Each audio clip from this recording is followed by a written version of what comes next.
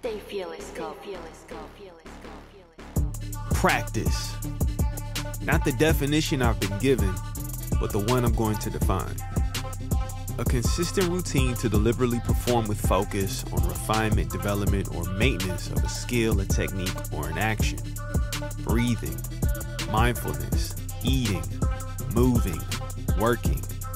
A practice. The first seven songs belonging to 21 total. Context. In June 2022, I needed to cope. A brother from another was in the hospital dealing with health issues. It got bad, real bad. Feeling helpless beyond prayer, I felt the overwhelming urge to harness this energy into creativity.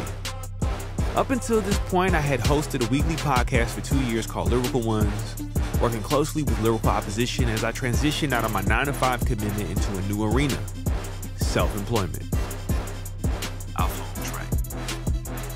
Lyrical Opposition is a nonprofit, but unlike most, is small, new, and filled with people who I believe in. We were working on a movie, and the key person was down bad. It shocked me to the core, because it was sudden and unexpected. Again, I've been surrounded by death, and my relationship to it, in my perspective, it's either you develop unhealthy habits that lead to your demise, or choices that lead to your demise. It is very rare when it's just random, although it can't happen. So, for this moment, as random as it was, I felt the weight of the world and what had been messaged constantly at the time was closer than I could have ever imagined.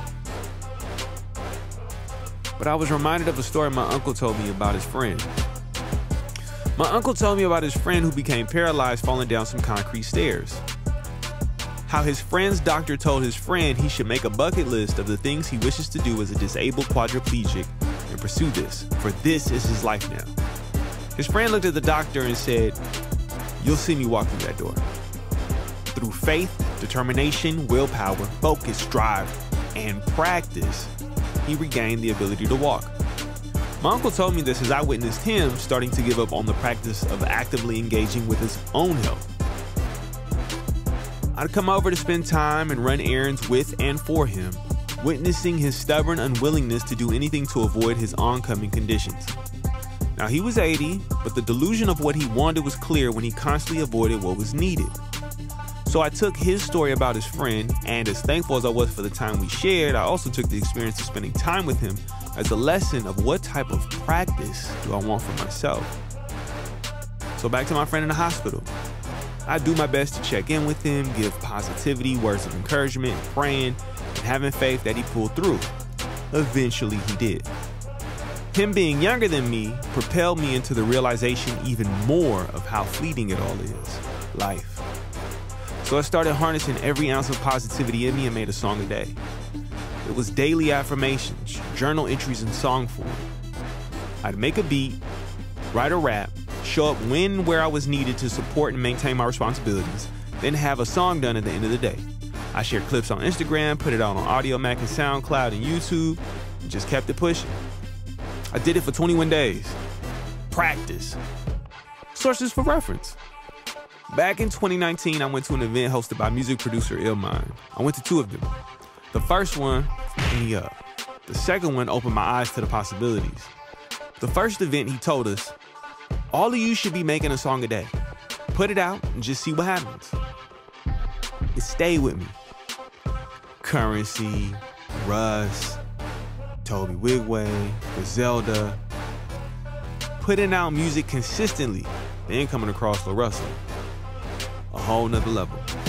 At the time, I tell people whom I worked with in the past or considered working with in the moment, and they be quick to project how they wouldn't do it how they have ideas on how to go about making music, and what I'm doing ain't it for them. Encouragement? Nah. Curiosity to see how it turned out? Nope. Support for an artist as I supported them? Hell no.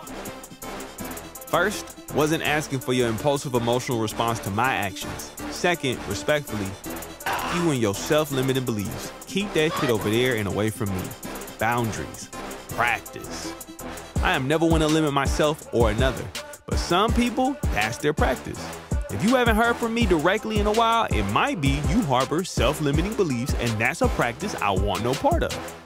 It's contagious. Hint, hint, blink, blink, blink and you miss it. Paying attention? Prestige. Ask questions in the comments, you'll get answers. So practice as it is, is daily. Brushing your teeth, drinking water, standing up, with intention and with attention. I want to see all of us win. I like for you to be around. Hopefully, you find a practice that works for you. Practice Part 1 available now wherever you listen to music. Seven songs produced, written, recorded, mixed, designed the artwork, shot the videos, and everything else by me. I love me. I hope you love you too. Stay fearless, community. I love you. Peace.